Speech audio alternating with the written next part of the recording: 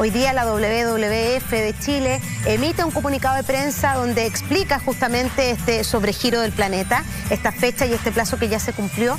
Y bueno, nos invita por supuesto a la reflexión y a entender que si seguimos consumiendo como lo estamos haciendo hasta el día de hoy, necesitaríamos, Eduardo, entre 1.5 a 2 planetas Tierra para poder sustentar la demanda que tenemos.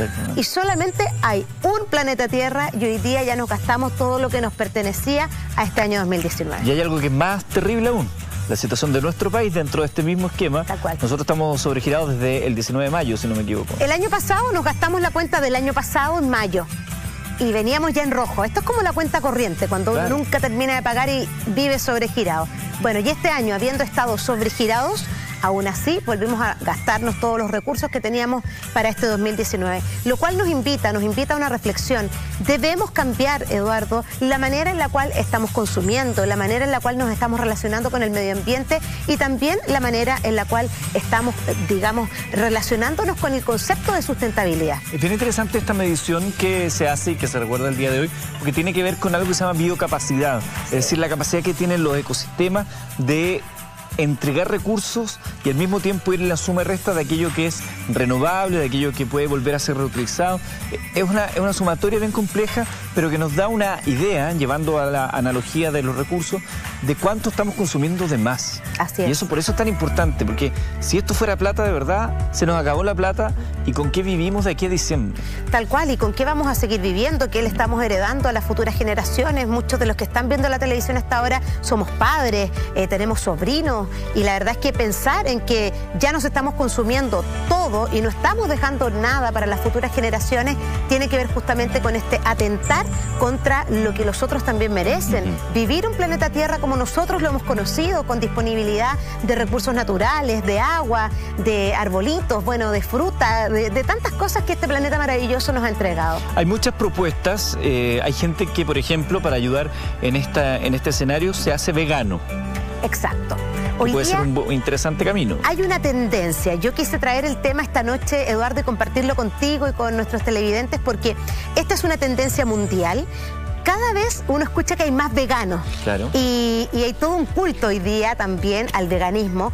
Y también este culto se vincula a la sustentabilidad. Y tú te preguntarás por qué, qué tiene que ver el veganismo con la sustentabilidad. Y resulta que efectivamente tienen un punto muy grande de conexión que tiene que ver con consumir menos animales, particularmente todo el consumo relacionado a la industria láctea y a la industria de las carnes, que requieren una huella muy alta para poder ser producidas. Por ejemplo, si hacemos una comparación entre un kilo de carne y la cantidad de agua que se requiere para producir un kilo de carne, es realmente muy distinta a la cantidad de agua, por ejemplo, que se requiere para generar trigo. Entonces ahí está el llamado y la reflexión que hoy día están haciendo los veganos desde distintos movimientos. De hecho, ahora durante el primer eh, bloque del año, más de 300.000 personas se han vuelto veganas. 300.000. A raíz de movimientos que hay, muchos a través de las redes sociales, y que efectivamente están comulgando con el veganismo en pro de cuidar el planeta y reducir las emisiones de CO2, de gas metano, que sabemos que genera la producción de ganado, la reducción también de huella de agua, a través de consumir y comer de una manera más vegana y, vinculada más a los vegetales, digamos. Bueno, nuestra invitada al lado eco del día de hoy justamente tomó ese camino, ¿no? Y ella lo tomó, Eduardo, hace muchos años. Ella fue vegetariana hace muchos años atrás cuando era más difícil, hoy día hay más alternativas, hay restaurantes veganos, hay mercados. Ella es Elvira Cristi, protagonista de muchas teleseries, una chica muy interesante que queremos contarle hoy día cómo fue su historia con el veganismo. Vamos a conocerla.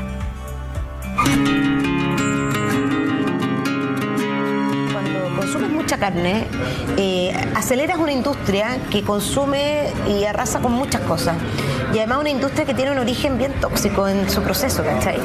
Y esas vacas también generan una cuestión que se llama gas metano. Gas metano. Y que eso es uno de los mayores contaminantes del planeta. Así es. bueno, esto se, ha creado, eh, conciencia un poco, creo que falta más información, eh, pero por ejemplo está Paul McCartney creo hace un tiempo atrás, los lunes sin carne. si tú comes, si no comes, yo como y después hacemos la costa. Eh, con solo no comer lunes carne uno genera un cambio... Lunes sin carne, es un hashtag de hecho en, Instagram. Eh, genera un cambio importante, porque yo puedo entender que hay gente que no pueda dejar de comer carne, que le guste comer carne, eh, y está bien, ¿no? y yo no me puedo meterme, pero, pero creo que todo lo que hemos visto últimamente con el clima, con el medio ambiente, la sequía brutal en la zona central, eh, es debido al cambio climático. Y todas estas cosas han ayudado a que esto esté pasando hoy por hoy. Nuestra sequía, eh, los cultivos eh, y el hecho de ser vegano ayuda mucho a, reducir huellas de carbono, en fin, a, un montón de cosas más. muchas de, de, las chicas que ven el Chile sustentable esta hora, que es hora de almuerzo, son mamás y cuando tenemos niños que piensan que la gallina viene del eh, que el huevo viene del supermercado, es heavy, o sea, cuando no hay un entendimiento y un goce de los procesos de las cosas, porque qué más lindo que ver crecer tu huerto, qué más lindo que ir en la mañana como se hacía antiguamente a recoger los huevos. Mi abuelo tenían tenían eh, campito y, uno tenía el placer de ir a recoger los huevos en la mañana. Eh, toda una cultura de alimentación vinculada a la naturaleza, al amor por la naturaleza y es parte de eso lo que nosotros también eh, buscamos que despertar en las personas a través del Chile Sustentable, invitarlos a que tengan sus propios huertos, o sea, no es necesario tener una parcela gigante, o sea, eh, tú puedes hacerlo en tu departamento, un pedacito de tierra y plantar ahí Por lo menos tener tu hierba, eh, no sé, romero, albahaca, cibulet, cosas que uno con la que cocina diariamente, menta, y, tiene, un, tiene su gracia, tiene su encanto y ayudamos bastante al planeta. Yo lo que te contaba anteriormente fuera de cámara, era que hace tiempo quería también seguir, empezar a reciclar más de lo que reciclo. Yo creo que me falta mucho más todavía, creo que también falta más información, creo que faltan más puntos verdes de reciclaje en Santiago, en el país en general, por supuesto. A unos chicos que se llaman Carubac, que los invito a, que los, a los que los conozcan. ¿Tienen Instagram? Sí. Vamos a buscar el tiro el Instagram para ponerlo. Caru, Carubac. Carubac, B larga AG. Y lo que hacen ellos es que tú puedes reciclar tus residuos orgánicos, o sea, la caca, la, ay, perdón, da lo mismo, la cáscara de papa quería decir, la, si es que no, comen la cáscara, eh, no sé, las de las de naranja, todos tus residuos orgánicos de, de frutas y verduras, básicamente, ah, te dan una cajita y una bolsa compostable. ¿Mm? tú la echas ahí. Y pasa una semana y ellos recogen eso y te cambian la bolsa compostable. Después Oye, y van en bici a buscarlo, además. Eh, además. Qué pro. Y si tú vienes en un departamento no se lo dejan en conserjería, o sea, se ponen de acuerdo contigo por WhatsApp. Y después de una semana te cambian la bolsa que es compostable y después de tres meses tus residuos orgánicos se transforman en humus que es abono para tus plantas. ¡Qué maravilla! Y sabes que es barato, es económico y ayudamos al medio ambiente. Y, ah, o sea, reciclamos, porque de verdad que eh, los residuos orgánicos eh, eh, para mí era un tema, porque mm, decía, pucha, mm. que lata yo sé que aquí hay, vitamina para la planta, yo sé que hay vitamina para un árbol, yo sé que hay vitamina. ¿Qué hago con esto? El, cafecito que en la mañana que uno bota el café. Sí, pues, el residuo, la bolsa de té también. Yo, lavaba los, platos con, ese café que mm, también mm.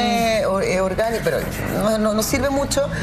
Sé, ¿qué hago con esto? Eh, bueno, y encontré a estos chicos y de verdad que los invito a conocerlos porque es muy son una solución tremenda porque te, ayudamos al medio ambiente y puedes tener y, te invita a tener un huerto en tu casita pequeñito, no importa que tengas, vivas en un departamento y tengas un balcón chiquitito, en un macetero que tenga, no sé, como decíamos, una menta, un cedrón. Por ejemplo, nosotros ahora estamos tomando un rico té, que te voy a poner un poquitito más ahí y también lo voy a servir exquisito este té verde, ¿no? Sí, es un té verde.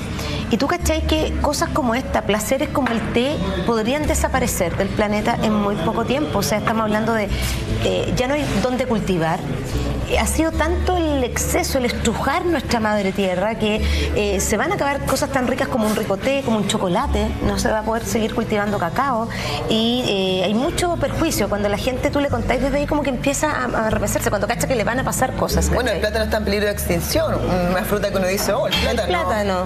Bueno, está en peligro de extinción, o sea, hay que tener ojo, hay que tener ojo y hay que hacernos cargo un poquito de eso. Mm. Eh, y también la invitación tal vez un poco es que que dentro del hogar también existan estos espacios donde podamos reciclar, ojalá dentro de lo posible, lo que se pueda, pero también, por ejemplo, crear huertitos.